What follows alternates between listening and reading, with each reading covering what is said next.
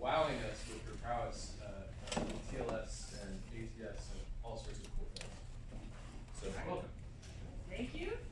Uh, yeah, so I'm going to talk to you today about proxies and TLS and injecting security into cloud communications. And I'm with Yahoo, Verizon Media, or whatever we were, are, and I'm a committer of PMC on Apache Traffic Server. Let's see, a few words about me. Uh, so I work with the Edge team, and uh, mostly I'm supporting the Apache Traffic Server, um, doing development, debugging, fun stuff. And I also work in various routing, networking, booting tools, and I teach yoga in my spare time. So at the end, if we have extra time, we can all work on headstands. so the goal of the talk is to talk to you a little bit about what we've been doing for the last couple of years and various TLS scenarios that we've our various servers have moved to various cloud configurations. Um, and specifically changes that we made to Apache Traffic Server in these last couple years to enable that. And uh, as I was listening to the talks and realizing that the title of this track was Content Delivery Network, um, actually what I'm talking about is probably more application delivery network. But hopefully I'll still find it interesting. Um, so a lot of what I'm talking about is not really supporting the hash, but it is really supporting a pure pricing scenario. Still interesting. This is work performed with my colleagues at Yahoo and in the general traffic server community, specifically Persia, Zayon, and Alan. And sadly, people I dragged into TLS leave us very quickly. I don't know why. So Persia and Zayon have both moved on. Anyone wants to do TLS, talk with me.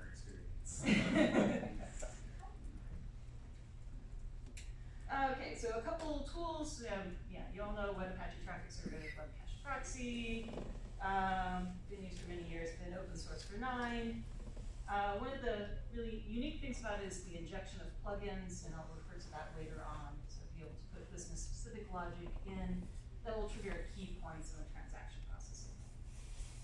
And like I said, last couple years, we've been spending on enhancing our TLS configuration logic. And uh, yeah, Apache Traffic Server, I was told by our PR people, was open source by Yahoo. Yahoo A. the other tool I'll be referencing is Athenz, which you probably aren't familiar with. This is another project that's been open sourced by Yahoo. And it is a role-based access control system. It is leveraging TLS mutual authentication for that, the authentication part of that. So that has been our prime motivator for supporting TLS mutual authentication. And there's a link. Uh, very nice system. Those are the tools. Motivation, so why did we go through this exercise?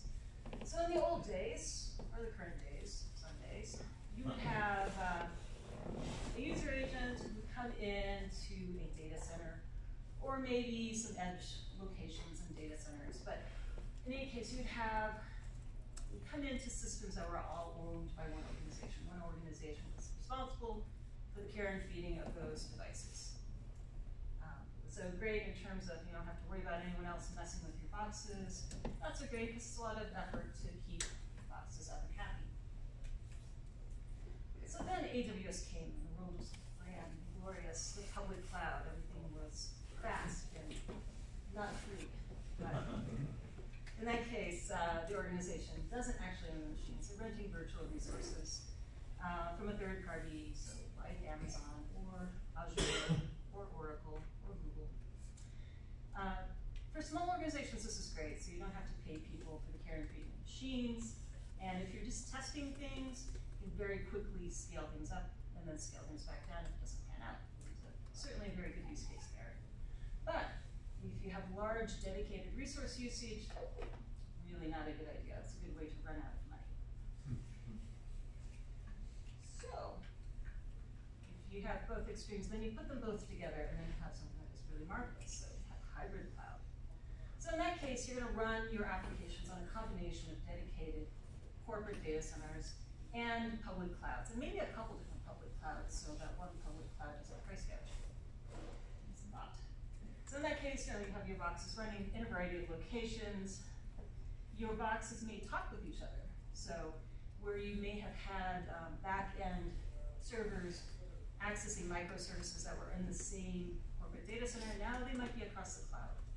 And this might change, maybe from deployment to deployment, from week to week, maybe they're kind of experimenting with moving things out to the cloud, and then, oh, that didn't work, I'm gonna move it back. So you have very dynamic and complex trust. So it gives you the ability to optimize cost and to optimize whatever glorious benefits you get from AWS. Um, but with this optimization comes complexity. So speaking of complexity, TLS. Hey. Um, so with these complex trust relationships and the possibility of our backend microservices being across the cloud, we network encryption isn't optional, right? If you had everything in the same data center, talking to your microservice, maybe you could have done that without TLS. Uh, from our security guys, we were even getting pressure within a data center to encrypt everything, so really network encryption is no longer optional. And authentication must become stronger, right? If you're talking with a microserver that may not be in your data center, you can't just check to make sure the IP address is from your trusted source.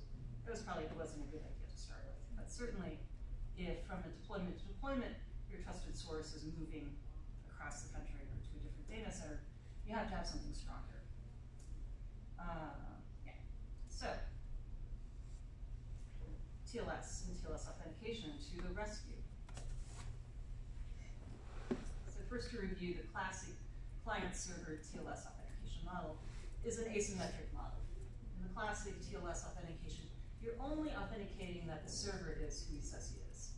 So the client is going to send a hello, the server will send back, hey, here's my server cert. The client will verify the signature on the server cert, make sure it's signed by a trusted root, and then through the key negotiation, the server will have to do some computation that proves that it owns the private key. So at the end of the day, the client is pretty sure that it's talking to the server that owns the private key that was corresponded to a certificate that was signed by. Any kind of client authentication, though, in this web environment is going to be outside of TLS. So if you're going to your bank site, you're going to type in a password, or you're going to do some sort of two-factor authentication atop TLS. So for humans, that makes sense. But there is also a mutual or a symmetric TLS authentication model. And that makes sense for services, right? For clients, programs, or accessing reasonable approach. And so in that scenario, the client provides a certificate as well. So in our scenario, the client sends hello, the server sends back its cert, and initially it sends a message saying, hey, you better give me your certificate as well. Uh, so this client does the same certificate check, it sends its client cert over, the server does a certificate check, and then they do a little dance during the server negotiation to, uh, to verify that each owns the other's private key, and then they're all happy. Both sides have proved to the other that they own the private key that cor corresponds to the certificate that they exchanged. And Athenz, as I mentioned earlier, provides their role-based uh, RBAC system based on top of this TLS mutual authentication. So anyone that's authenticating via an Athenz has to provide an Athenz certificate and exchange, uh, go through the TLS mutual authentication. Make sense?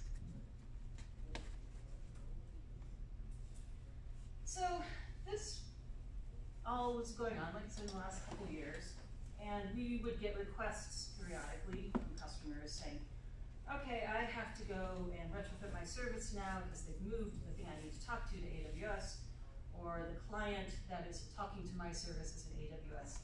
I need to do mutual TLS, help me. And a lot of times, in this case, um, the software wasn't necessarily either A, able to do TLS at all, or wasn't able to do TLS with mutual authentication. And maybe the team that's supporting it doesn't have engi any engineers anymore, any engineers capable of doing TLS, yes. Isn't it just because traffic server has to fix all problems? And traffic server has to fix all problems. Because yeah, that, you know, if you can get someone else to solve your problems, it's much better.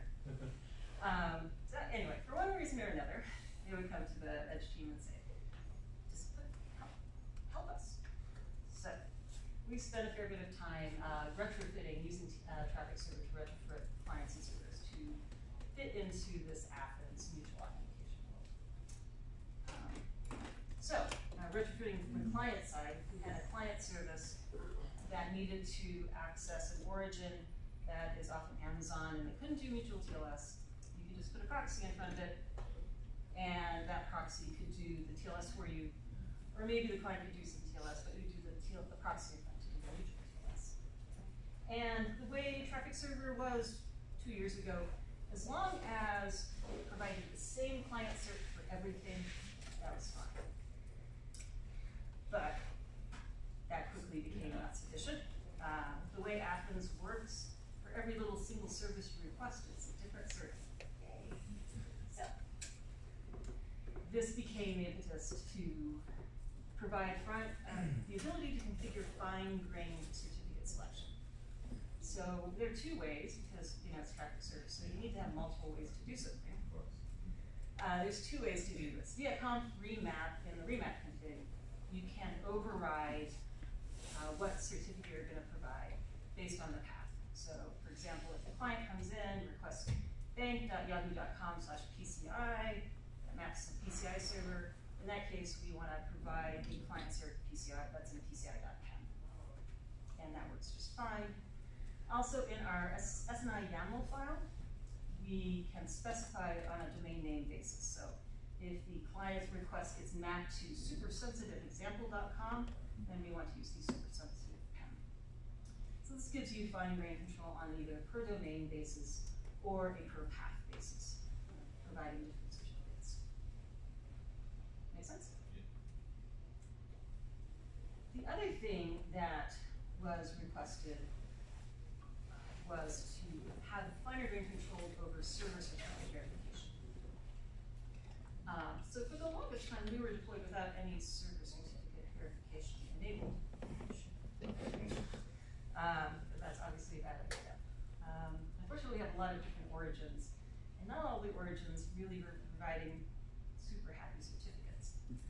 So the default is for verification that you verify the signature and that you verify the name so that the name of they're requesting is in the certificate. So if you're asking for foo.com, if they give you a cert that's signed fine but it doesn't have foo.com in it, uh, traffic server will say you lose and it will not complete the, sign- the, the exchange. Uh, all origins behave like you like. So eventually we ended up reconfiguring and splitting apart the server verification. So you can specify that a policy for server verification. So I wanna verify based on signature, I wanna verify based on name, or I wanna verify in both, or I don't wanna verify.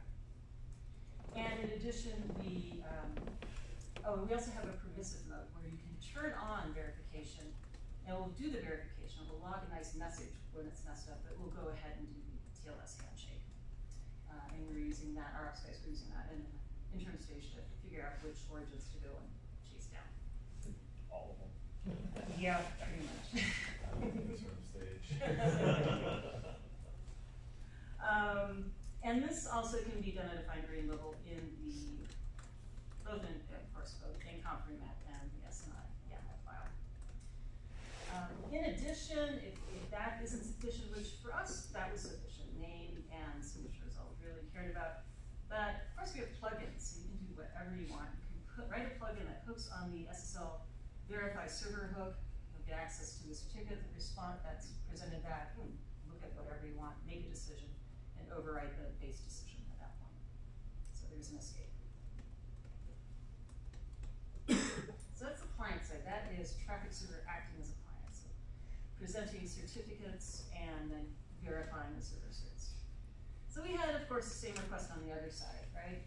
Um, I have an origin and it's getting requests from AWS, and I need to verify or vice versa. I have an origin that's sitting in AWS and I'm getting client requests that are mutual TLS. And again, at the beginning, when we started, there was one setting. So you could set up traffic server to say, I'm going to require a certificate from all clients, I'm gonna require a certificate from no clients. Or this interim, like, I will request a certificate, but if they don't give me one, it's okay. Um, that's OpenSSL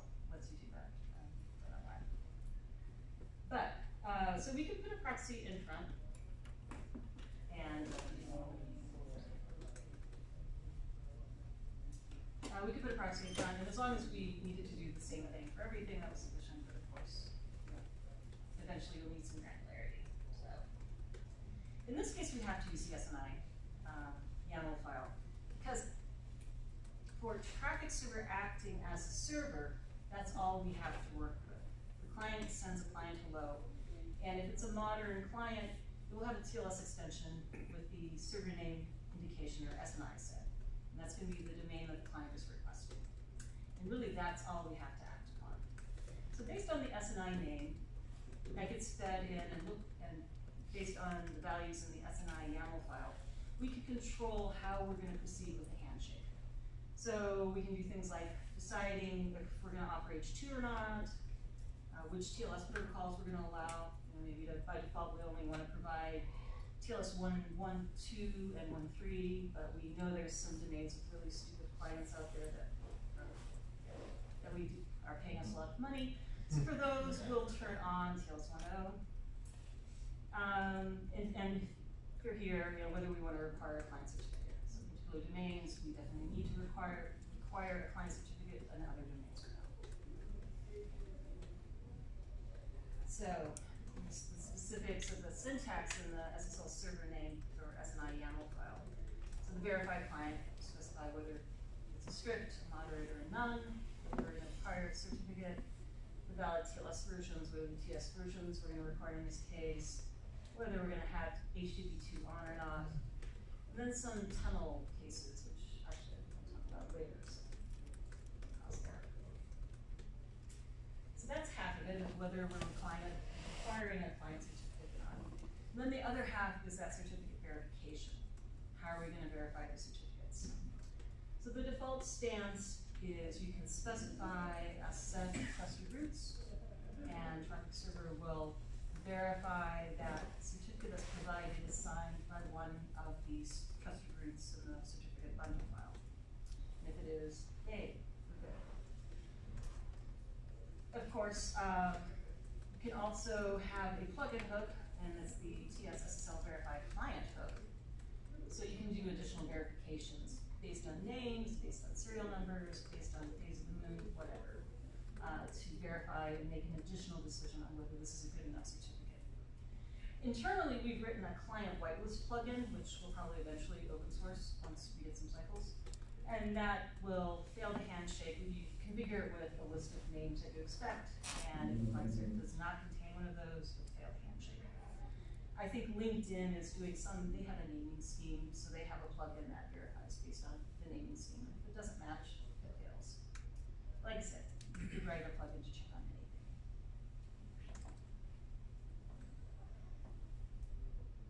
Alright, so that's the basic retrofitting based on a client and based on a server.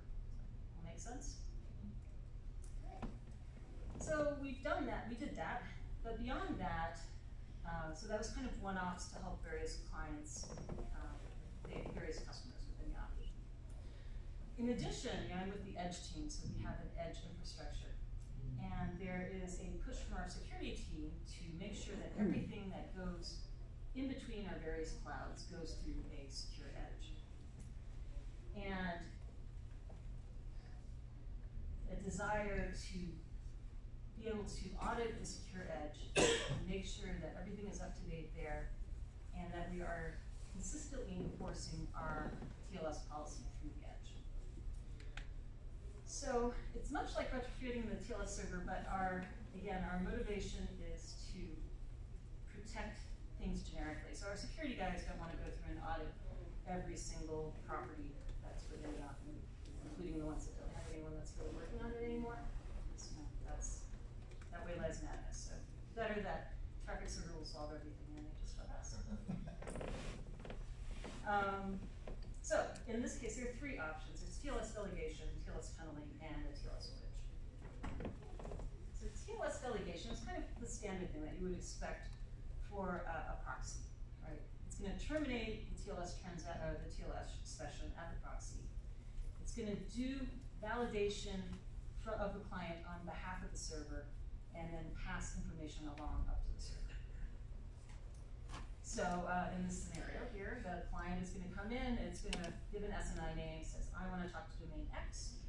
The proxy will present back a proxy, uh, server certificate, client will give its client certificate. And the proxy will then make some computation that says, oh, this is a valid client cert, you know, at a minimum verifying the signature, maybe doing some. Uh, then assuming, and then we'll do our normal dance, and assuming that works out well, the client will present some additional information in the header saying, this is what I'm authorized to do. And, uh, the proxy will run another function to say, okay, does that make sense based on Athenz? Is this a valid header, and what are you really authorized to do? And assuming that works out, it will turn around and will make a request up to the server, probably using a different domain name. Uh, the server will give it server cert, proxy will give its proxy client cert, because it can't give the client cert, because it doesn't have the client's key. Hopefully not, because that would just be really bad. Um, the server will do, the origin will do its normal uh, verification. We'll send up a request with a probably, probably different header saying, hey, I verified on your behalf, and he said he had access to blah, and he did. And, uh, the server will verify that, and assuming everything checks out, responses will flow back through. That, um, Does that make sense? So this works out pretty well, and is again, what you probably expect a proxy to do. The thing is, is in this delegation that we need to worry about someone, malicious user, trying to bypass the proxy entirely and just going straight to the server. Um, So maybe, maybe we're trying to prevent the network address for the server be- becoming available that, you know, maybe our malicious user is operating within Amazon Cloud as well. Or somehow is able. So if we have a malicious user that's trying to talk with the server directly, so he can figure out what the domain name is, right? So he says, I wanna talk to SNIX prime, so server sends the server cert, malicious user sends his cert, cert of some sort. The server will try to do a verification of it, if that works, then the malicious user will, the TLS handshake will complete. The malicious user will send his header up with the H prime, hey, that verified, this is what I'm authorized to do.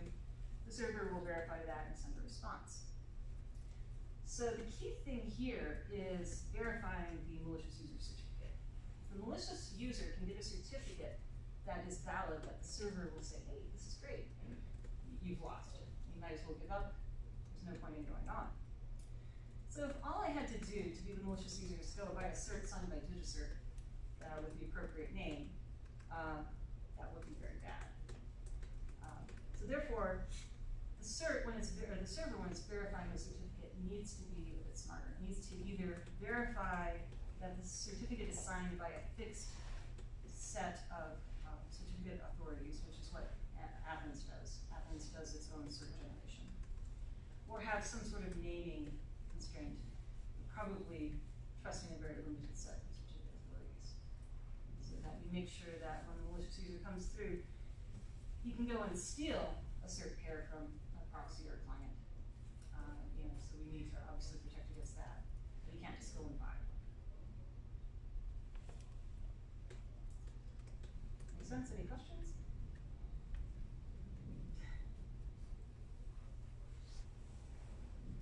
The other option is TLS tunneling. So in this case, the proxy doesn't terminate the TLS connection. So it instead, it looks at the SNI and says, oh, based on what you set up in your SNI YAML file, you're going to supersecret.com. I'm not gonna terminate it, I'm gonna proxy it on to supersecret server. So there's a couple different motivations, super sensitive, sorry, super sensitive origin. There's a couple different motivations for this. Um, the main security one is that there are some requests, primarily like financial PCI kind of things, that have so much auditing requirements upon it that really make no sense to try to enforce it on a bunch of edge servers. But you really are just gonna have to sit it on through the origin. Our security areas are gonna have to work with the origin and make sure that they are in a good stance, which they're gonna have to do anyway, because if it's something like PCI, they're gonna get audited. right? So in that case, that's the security reason why you would wanna do this. right? You're gonna punch a hole, we're gonna, the security guys are gonna verify the ultimate origin is doing the correct thing. The other reason for doing it is customer comes to the Edge team and says, oh my gosh, we've gotta get this service through right now, and you're basically poking a hole in the firewall, and say, all right, well, you know, there you go, hope you're doing the right thing, come back, you know, we'll work on getting you onboarded correctly later. There's an implication there that, that, that content could never possibly be cached by the proxy either, right? Right, right, yeah, definitely, and, and, and a lot of this is not cacheable stuff, so like I said, this is more of an application delivery network, so these are actions that probably aren't gonna get cached, but yes, no chance at all of tunneling, uh, of caching tunnel stuff. No cache, no chance at all of making decisions based on headers, and nothing, you're not terminating it, can't do anything. But infinitely more secure than a fire, firewall hole. More secure than a firewall, yes. Um, yeah, yeah, the tunnel route, it seems like, yes, and explain this to our operations guys, and then every couple weeks say, oh, but we just wanna go and check on this header. Nope. Can't do it. So the other option, the final option, is the bridging option, which is actually a plugin that Alan wrote. And this, uh, kind of, it avoids the encryption on the proxy. We're not gonna decrypt on the proxy. You're gonna have a, a tunnel or some sort of connection from client to server. But maybe we don't fully trust the quality of the TLS connection between the client and the server. Uh, Again, this might be historic, maybe the client can only do triple DES or something like that. So we wanna verify that between different clouds, that we are going across the internet doing strong encryption and as good of TLS as we can. So in that case, we're gonna basically set up a gateway, gateway, uh, gateway to gateway TLS tunnel. And we're gonna have, uh, send our possibly already encrypted traffic through another tunnel, so possibly we're double encrypted, uh, which is fine. So the client is coming in, and maybe it's encrypted, maybe it's not, it's gonna hit the ATS, ingress ATS. It's gonna go through and eventually get triggered by the TLS bridge plugin, which will have a configuration that says, oh, when I get a request through this origin name, really, I wanna go first and set up a connection, a TLS connection with my peer. And we'll do that, we'll make a TLS connection with the peer. And then after that, gateway to gateway TLS tunnel is set up. It's just going to blind tunnel client traffic in to that TLS, gateway to gateway. And then the peer will just blind, take it out of the, that tunnel and send it on to the ultimate origin. So, this way, again, we can verify the quality of the encryption between the peer ATS boxes. But we, the client and the service don't have to really know, they just have to get their traffic routed to the ingress ATS. Nothing is decrypted there. You're just saying, if you, if you, Mr. Client, if you have security issues, you can't blame us. You can't blame us. You do your thing, we'll get your traffic across the internet, and then you're on your own. Yeah, there's another thing from the paranoid point of view is that it's easier for them to verify the security stance of the two ATSs and to check every single client and service is doing the right thing. It's almost like using ATS as a VPN. Yes, it is exactly like using ATS as a VPN. But like super cool. Because VPNs are kind of. Well, I I guess the other thing that I should point out that Alan wanted me to harp on a little bit was that for a given ATS box, you can run a, a combination of all three of these. And in fact, in our Edge, I don't think we have plugins running in, in YCPI yet, but we definitely do have the tunneling and the um, TLS delegation operating at the same time on the same box for different domains. And there's nothing that would prevent you from setting up a TLS bridge Yeah, yeah, it but- but just hasn't come up for us yet. So that's another value above and beyond a dorky It's just so much more flexible. Yeah, I mean, that's the real point, is that if you, for some reason, have to put an ATS to start with, then this means that you can, do all these things without installing anything else, right? Yeah, we actually do have a use case that I am real interested in this for. Um, we need to talk Jamie, and then maybe we, we can talk to you guys later at some point. Okay. I think I know where you're going with that. Right. Oh, and we have the Squares diagram, sorry. Um, uh, so yeah, we'll go ahead and talk through this. So the client, uh, will come through and connect with the traffic server and the way it scans right now, it has to do an HTTP connect, right? It has to either TLS or do an HTTP connect. Um, so the ATS will intercept that, it's a transaction plugin, and it will turn around then and set up the TLS connect to it'll set up that secure tunnel based on our, our stance. And then from the peer, the, the H, the original HTTP connect is sent through. And at that point, it lands at the peer, and the peer will do the DNS for the ultimate service, and will make a T- TCP connection to the ultimate service. And so now at this point, everyone is like connected up. We have our ATS to ATS tunnel, and our clients can send on their traffic from their perspective. We go through the TLS, uh, the peer, the ATS to ATS TLS tunnel, and show up at the service on the other side. And our ATS boxes would just shuffling bits back and forth. And until we're done.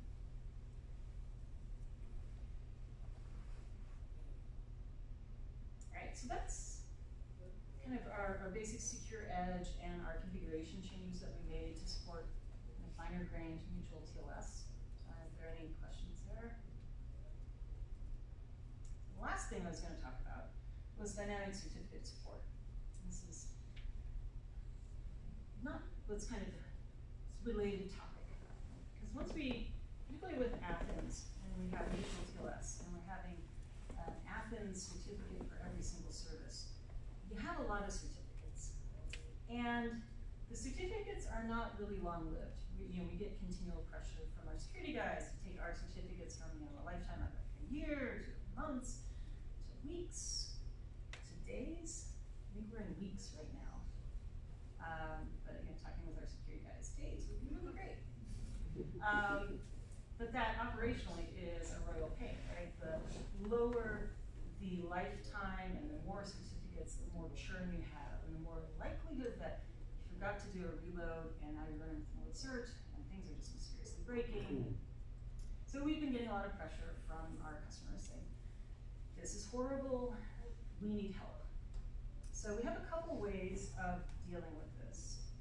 Um, this is work mostly done uh, with Zalon, who left us. Home. Uh, there's two things. There's a certificate reporting tool, which is already an open source and works. And there are some APIs to help us do hot loading of certificates. So let me talk about the certificate reporting tool. So this was a request from our customer saying, just tell me what's in the active certificate table now. Did it work? Did it reload? I don't know. So, uh, you know, what they would do before is they would try to reload it, and then they'd run some test traffic. They're gonna say, oh, no, I'm getting you know, 500, something's wrong. But with this, it's a plugin, so you, you load the plugin, it's a global, and then it takes, it watches for messages from traffic plugin sends a plugin message um, to and to the plugin, and the plugin watches for the message. And when it gets a message for either a client or a cert, it will dump the current state of either the client cert table or the server cert table to a file cert reporting tool.log. So you can go and look at that. And there'll be entries like a timestamp, the lookup name, which is probably a file, a file that you got loaded, the subject name, all the all the subject alternative names, serial number, and validity time. So based on that, you can see, all right, I am running the current version, or I'm not running the current version. It gives you help for debugging and some feedback like, did it work? There's so many times I've been used. Yes. So that has been a useful tool, and it's, you know, as a debugging and verifying tool. The other thing is hot loading certificates. So currently, when a certificate is updated, you have to at least run um, a config reload it to get picked up. But for things that are just revalidating, you know, it's the same foo.pem we had previously loaded, it would be really nice if you could just recognize that there's a new version of foo.pem, just bring it into your table. And that's what the new APIs were uh, to do, to allow for a hot reloading of both of those certificates, a server certificate and a client certificate. APIs. And we've been working with a plugin, exper- actually it's an example plugin right now, but we're gonna make it a real plugin, that again, is, uh, look at, listening for messages. So we didn't wanna hard code in the technique for looking for file updates. It's gonna take a message of a file name to reload. And we'll reload that file into the current active uh, certificate table, the server side, the client side. And so the idea is you have a script using iNotify or whatever to look for changes for certificate files in the Magic Directory or whatever your technique is for managing certificates. And when that's found, send a message saying, hey, reload, reloadfoo.com, and then it happens. Uh, Is that some, is that something that gets pulled or is that something that gets pushed? um, well, So it's it- How do you call the API? How do you call the API? Is it something, an external thing? Right, um, so- so- Is calling into ATS or is it something ATS is constantly checking? Oh, yeah, something that's pushing, the way we have it written right now, so again, it's an API, so I suppose you write a plugin to go either way. But the plugin that we've been working with is just listening. So again, it's listening for traffic CTL to send a message, Okay. saying reloadfood.com. And then having a separate script that either, you know, based on the end of your cert update job would send a message saying, hey, reloadfood.com, or something that's just sitting and looking at the directory saying, oh, foo.com has changed, you should go reload.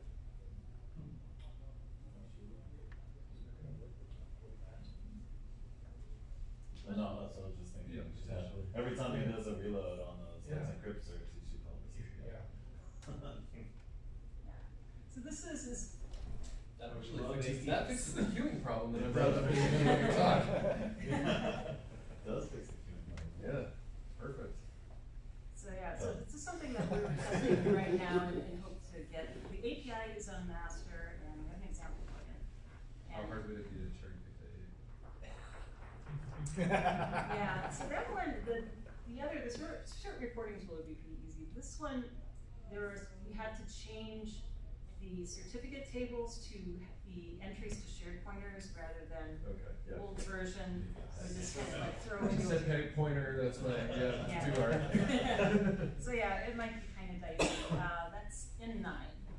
Yeah, it came in before the branch of nine.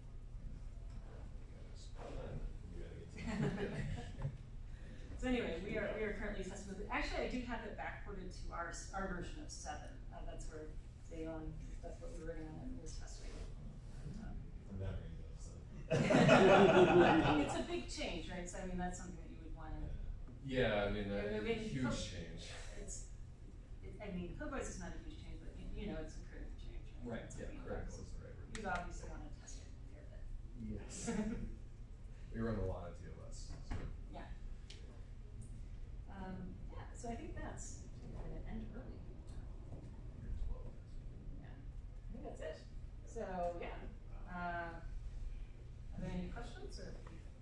Who, cre- if you're doing client certs to an origin Mhm. or to a server side, on the far side, Mhm. for if the ATS, how, do- who generates the client cert for the ATS node to talk to? Is that something from the CA of the origin, or is that something from, in your world, uh, Athenz? This is all Athenz, yeah.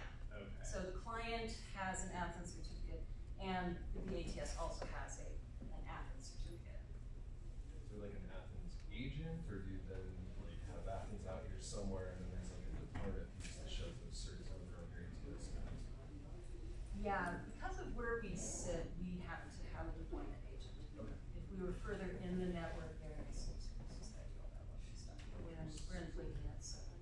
That Athenz project just sounds so interesting to me Mhm. though. Yeah, yeah, you should check out the Athenz project. Henry, who's been the main guy, is really, really great.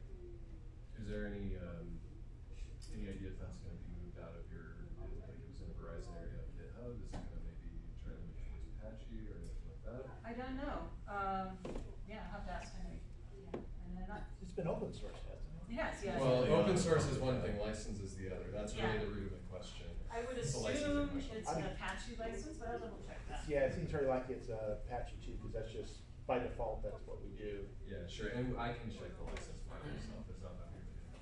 Just Yeah. Didn't know, I didn't know if you, you know, had it a feel for it, that's all. Yeah. But if you're checking out, one of the things it does is it, and, uh, where does it, you know this, it puts the, uh, the role data in somewhere in the cert, so. Well, there's a couple different ways you can do it, yeah, one way of doing that, and, and they're kind of evolving on that, uh, right now. One way is to have one of your common names be kind of what you're authorized to do, or one of the SANs. Uh, the other way is to have a separate OAuth header, OAuth